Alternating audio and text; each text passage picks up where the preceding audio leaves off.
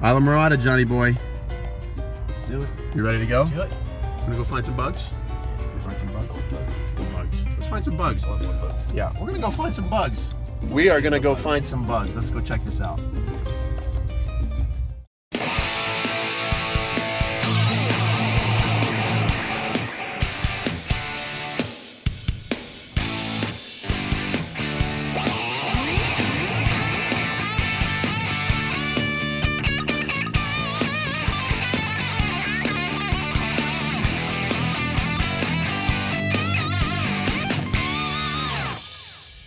So we're in Islamorada. It is middle of March. This is the Chamber of Commerce Visitor Center uh, here in Islamorada, Florida, in Florida Keys. And we're gonna go check out this park. This park's actually got some great natural areas. And we're gonna go check this place out and see what bugs we can find. Let's take a look. So we're gonna go out and check the parking lot, to see if there's any Strymon martialis. There's a big strip of bay cedar here. And uh, it's usually a good place to find Strymon martialis, so let's see what we can find. The, the larvae of the hair streak, the, where the butterfly lays eggs on the little yellow flowers of the bay cedar. This grows only in the little sand dunes on the, near the beach. Uh, these were planted here but um, the, the, the eggs get laid on the flowers, and then the caterpillars burrow into the these these developing flower buds, and um, they're they're completely completely burrowed into the middle of these uh, stems of these flower buds, uh, so they stay hidden from predators. And so, usually the uh, Martial scrub hair streak, they stay pretty tight to their bay cedar host plant. And usually if you knock it around a little bit, you'll see the little hair streak butterfly fly out. But I have not seen one yet today. Let's see. Come on, hair streak. Where are you at? Now here's a buttonwood tree that looks like it's got some larval damage. See all the strips here? If we look here close enough, I guarantee you we're gonna find a big fat caterpillar. Let's see. Where's he at? Up here. It's all chewed up. Oh, where are you at? Oh, here he is. Look, look, look, look, look, look, look. You fatty. that is cool. That is an Ello sphinx.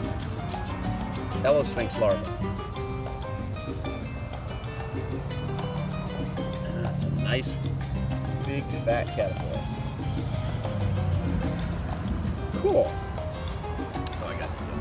So I got You got an idea, huh? John's got an idea. Watch out, everybody. Let's see. Are there any more? It sure looks like this has been this has been tore up pretty good. Want him, Theo? See him? No touch him?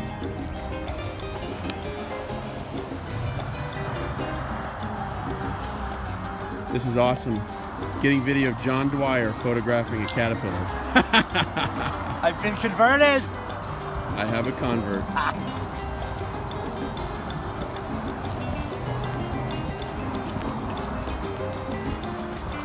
Let's see. I'll bet there's more. That's a lot of damage for one caterpillar. Yeah, so, oh, we got we got one here. He's almost full grown. Oh, look, there's another one. Yep. There's another one. And let's see. Oh, number three.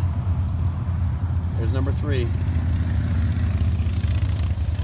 And that is how plants get defoliated.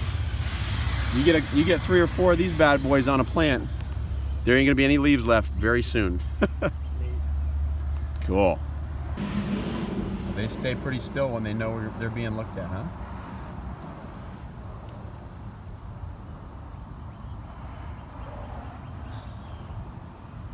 How cool is that? Is cool. Hello, Sphinx. Hello.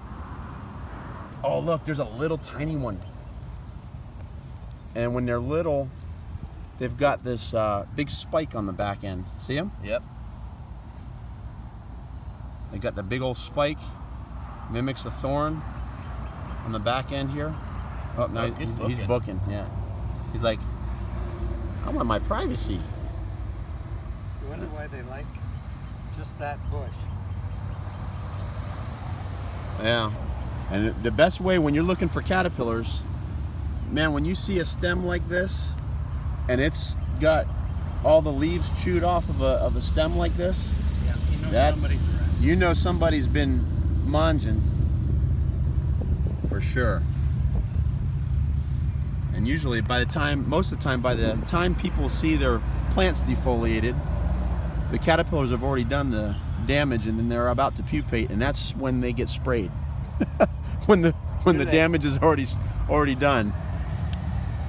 Yes, so this this here, we've got a, a spider web down here that's capturing all the frass and it, you know there must be a caterpillar and there he is Is that the same kind? same kind and they have in the earlier instars they've got this little fake eye on their thorax and they flash it when they're disturbed to try to scare you Cool. i'm so scared I need one of those.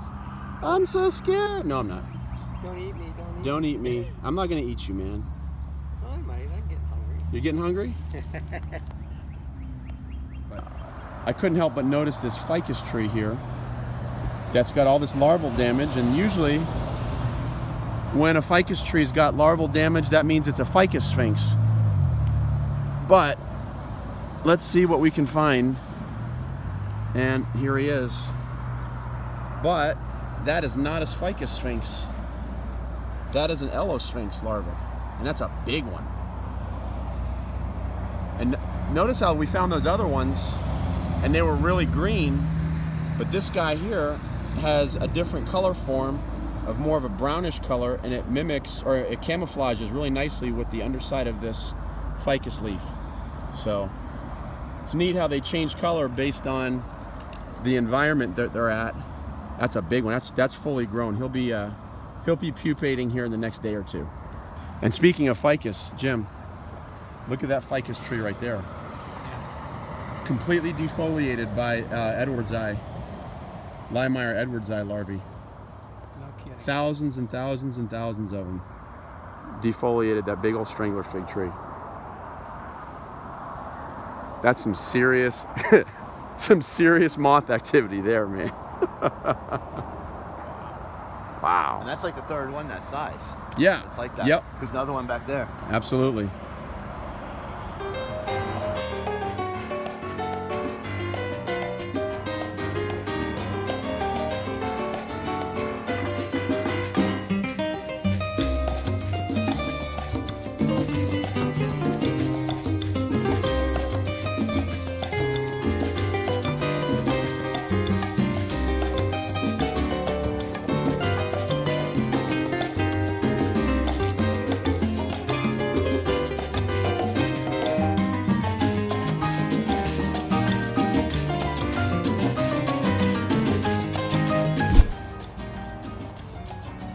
So here we have a little, I guess this is a strangler fig. And these edwardsii larvae are just tearing this thing up.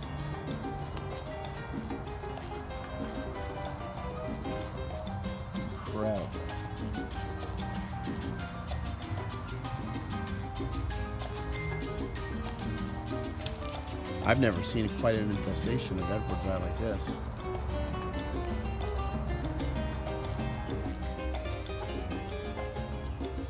I'm flying! I love the breeze!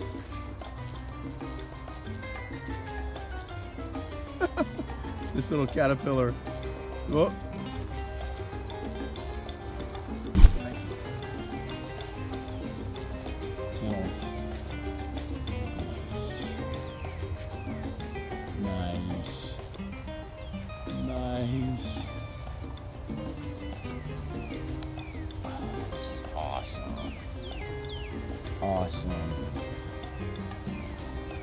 Beautiful moth.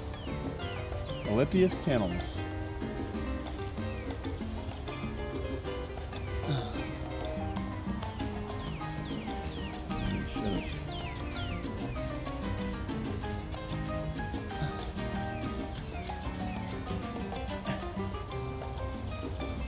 Come on, don't go any further back.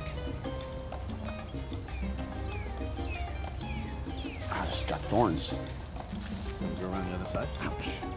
There's this little patch of this these flowers. I have to look up and see what they are. It almost looks like some kind of a I don't know.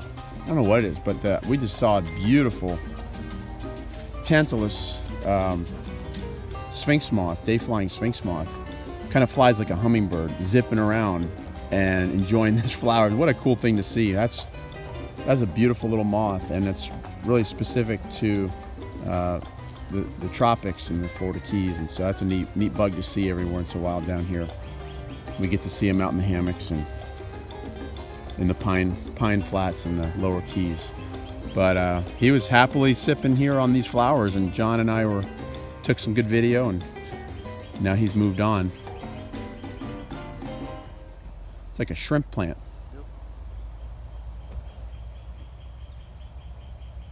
Like some kind of shrimp plant.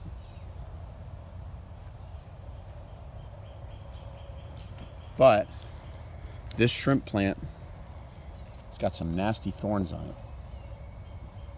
I got I have to find out what this plant is.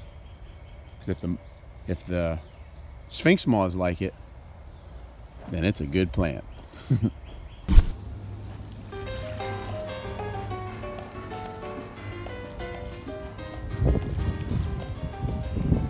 yeah, we were hoping to find look on this bay cedar and find some Martial scrub hair streaks. But I have not seen a single hair streak. We did see that Tantalus, which was really cool.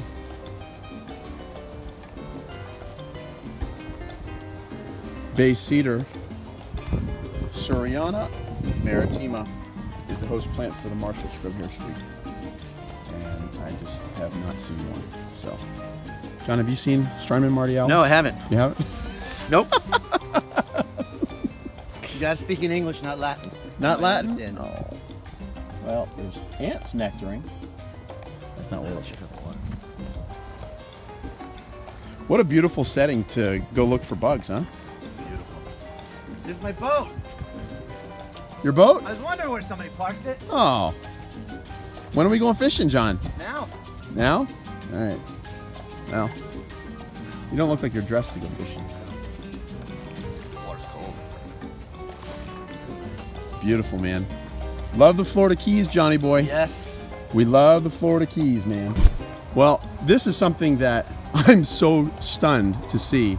This is a huge strangler fig tree. And I mentioned earlier that that little strangler fig tree had an infestation of edwardsii. But I had no idea that this massive, massive tree.